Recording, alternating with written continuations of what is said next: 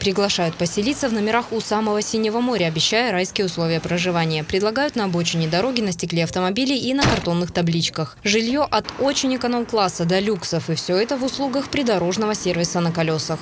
Куда привезут хозяева и какими окажутся райские условия – лотерея. При проверке документов водители авто и хозяева жилья спешно прячут рекламные объявления. Знают, за такое предпринимательство предусмотрен штраф. Создаются пробки, затруднения для движения.